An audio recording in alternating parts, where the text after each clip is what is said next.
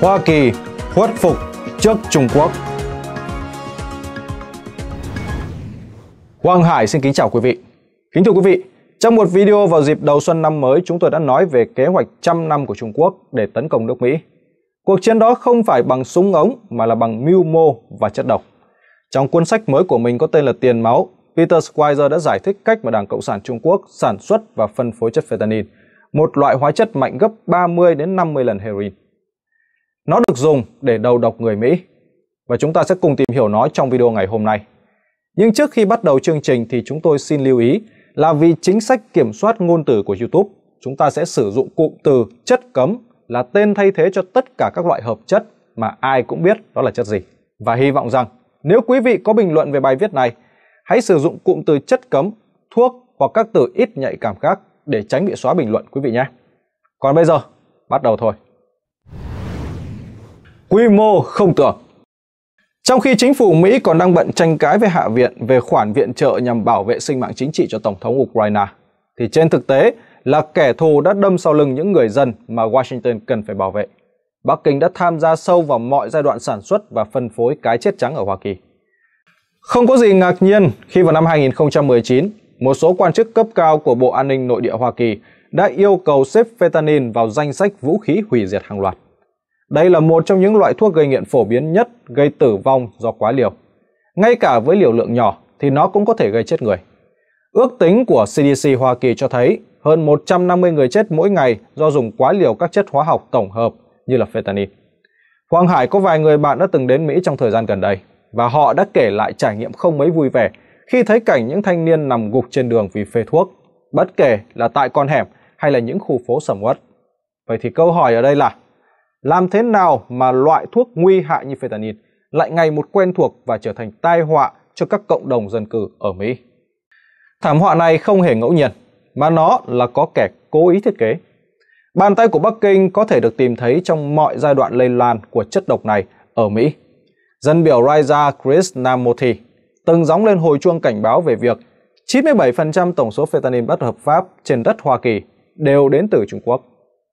Tờ New York Post vào hôm 25 tháng 2 đã công bố bài điều tra của mình về loại thuốc này.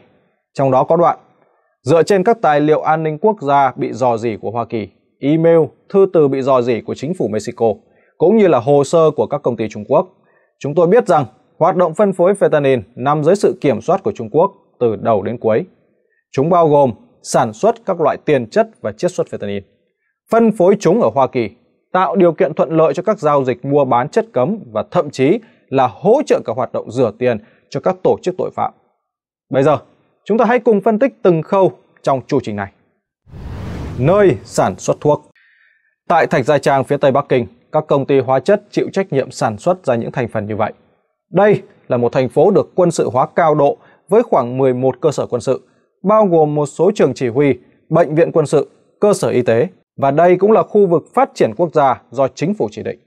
Vũ Hán, nơi COVID-19 lần đầu tiên được phát hiện cũng là một trung tâm sản xuất lớn khác của các thành phần fentanyl.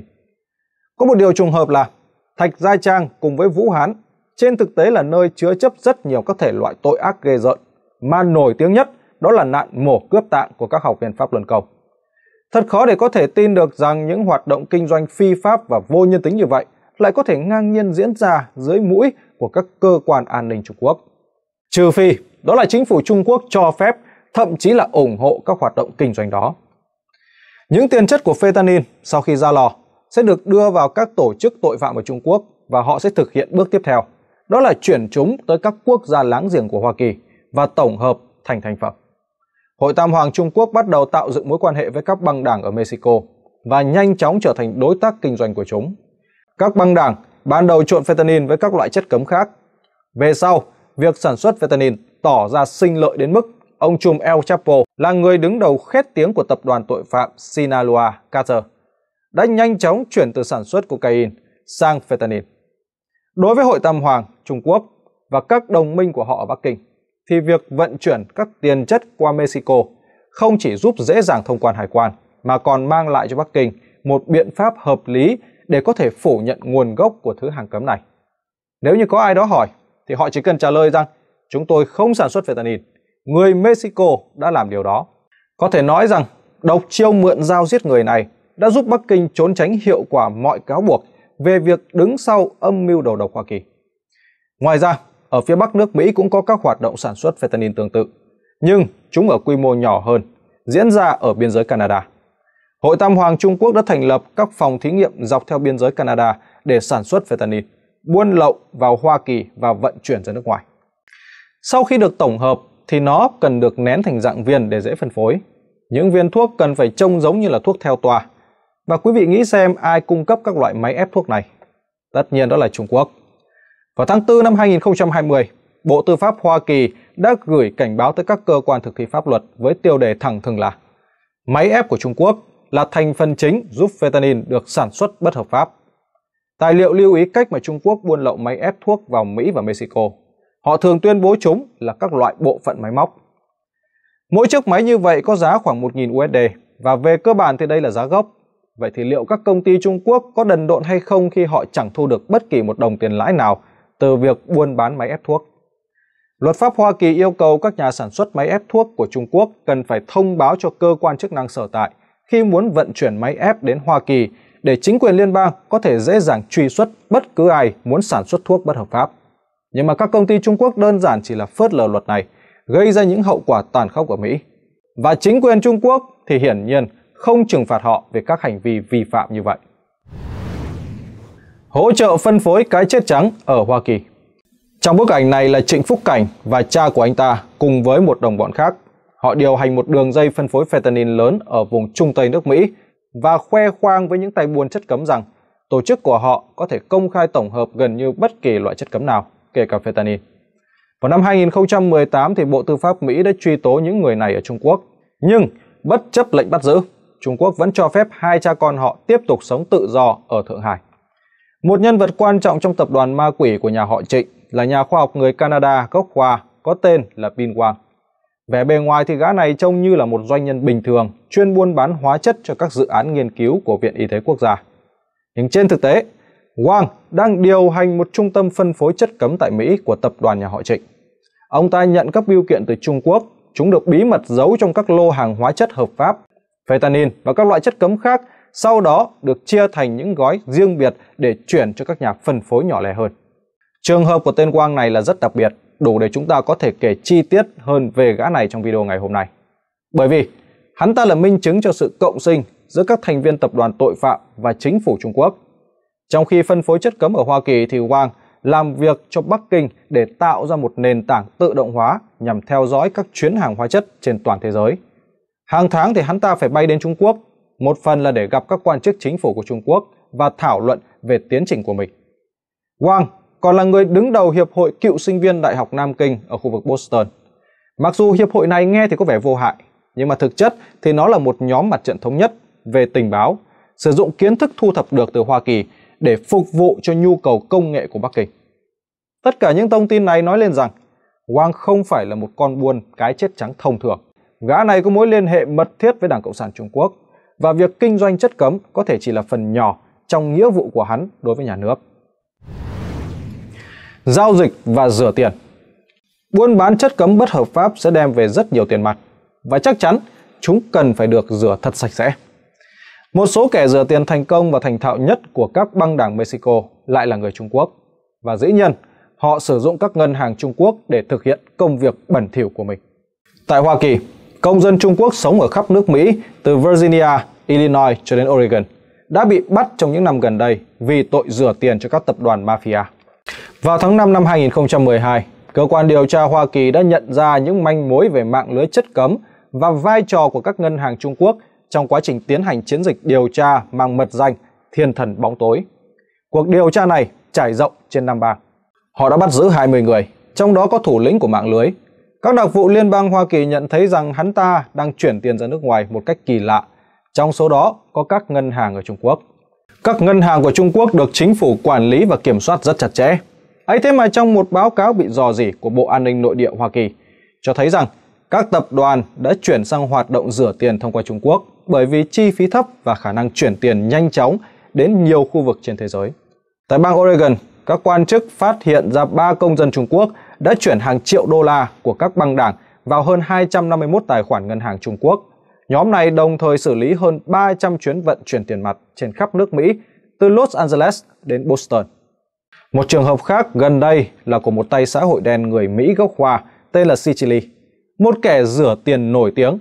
Hắn sử dụng một mạng lưới Hoa Kiều, thường là các du học sinh, để vận chuyển tiền mặt.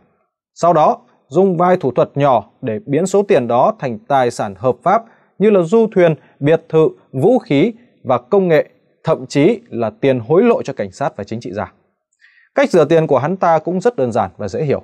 Chẳng hạn, một băng đảng nhờ hắn rửa một vali đô la. Vali này sẽ được chuyển cho một gã bồi bàn ở khu phố người Hoa, rồi sau đó đến tay Ly.